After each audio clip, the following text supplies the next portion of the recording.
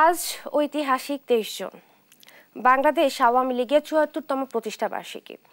ভাষা আন্দোলন ও মহান মুক্তিযুদ্ধ থেকে শুরু করে সব আন্দোলন সংগ্রামে সামনে থেকে নেতৃত্ব দেয়া দেশের প্রাচীন ঐতিহ্যবাহী রাজনৈতিক দলটি এবার পা রাখছে পঁচাত্তর বছরে। তৌফিক মাহমুদ মুন্নার রিপোর্ট।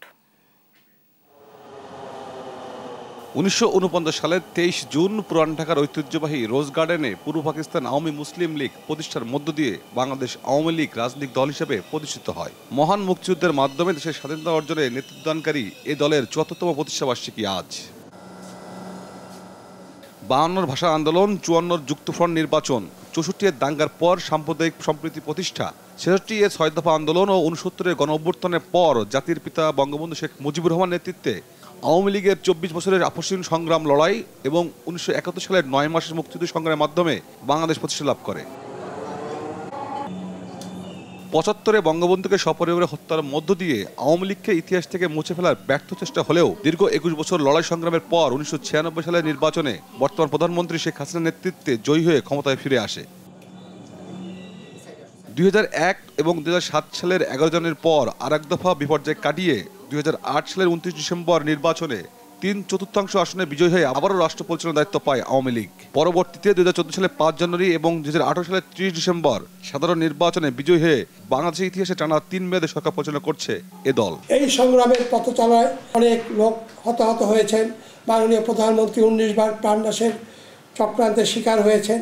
বারবার তাকে মহান রব্বুল আমিন মৃত্যুর হাত থেকে রক্ষা করেছে আজকে তার নেতৃত্বে একদিকে আমরা যেমন সংগ্রামের সফলতার মধ্য দিয়ে ক্ষমতা আসতে সক্ষম হয়েছি সেই ক্ষমতাকেও তিনি ভালোভাবে এই দেশের মানুষের কল্যাণে নিবেদিত করেছেন। নিজস্ব অর্থায়নে পদ্মাসেতু নির্মাণ মেট্রো রেল কর্ণফুলী টানেল সহ মেগা প্রকল্পের বাস্তবায়ন চলছে আওয়ামী লীগ সরকারের নেতৃত্বে। আজকে তিনি এই দেশকে এমন জায়গায় উন্নয়নের রূপরেখা দিয়েছেন যাতে করে সারা বিশ্ব বাংলাদেশকে উন্নয়নের রোড মেডেল বলছে।